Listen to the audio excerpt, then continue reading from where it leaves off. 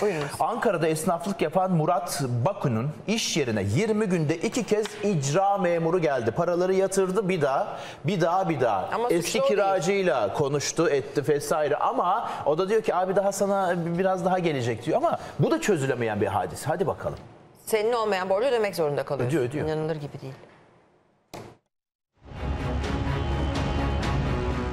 Borçlu ben değilim. Ben borçluyu hiç yolda görsem tanımam. O hiç tanımadığı, görmediği kişinin borcu üzerine kaldı. İş yerine icra geldi. Kendine ait olmayan borcu ödedi ama derdi bitmedi. Haciz gelip malzemelerimi alacak diyerekten malzememi çıkartamıyorum yani. Ankara Ulus'taki bir iş hanı burası. Murat Baku da işte bu iş hanındaki bu iş yerini 5 Ocak'ta kiraladı. İşlerini tam düzene sokmuştu ki 24 Ocak günü icra memurları geldi. Murat Bey neye uğradığını şaşırdı. Mehmet Fatih Akdemir'le görüşeceğiz dediler. Dedik böyle birisi yok. Kira kontratını gösterdim. Vergi levhama baktılar. Hiçbir şey bulamadılar. Avukat ve icra memurunun sorduğu o kişi Murat Bey'in kiraladığı dükkanın eski kiracısıydı. Borçlu kendisi olmadığı için rahatça imzaladı tutanağı. 178 bin liralık borç ona çıkarılınca başından aşağı kaynar sular döküldü. Hakim direkt karar veriyor. Bu borç sizin borcunuzdur. Haciz kararın gerçekleşmesi diyerekten. Benim burada yaklaşık 600-700 bin liralık malzemem vardı. Mallarım gitmesin, ticaretim devam etsin diyerekten o borcu ödedim. Haciz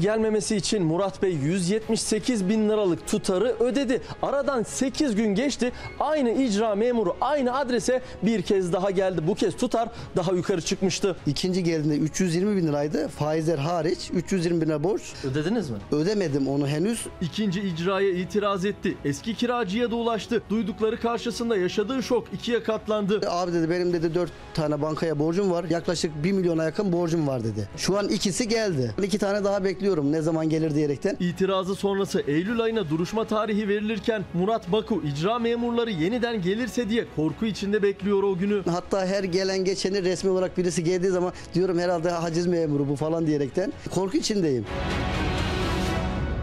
Şimdi bu da çözülemeyen ve ivedilikle çözülemeyen bir konu mu mesela?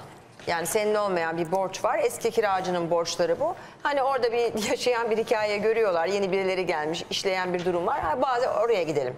Yani Ödemesen olmaz. Faiz hesaplar vesaire kapanıyor. E, Dört tane daha. Eylül'e de duruşma yapmışlar. Vallahi yani. zor. E, deniyor ki öde herhalde. Daha sonra bir aklanırsak Çözüm- e, geri, gerisini hallederiz falan filan gibileri. Geri ödemeyi yaparız vesaire deniyor ama enflasyon ortamı var bilmem ne. Yani çok gerçekten zor yani. Orada iş yeri açtığına, kiraladığına pişman olur insan.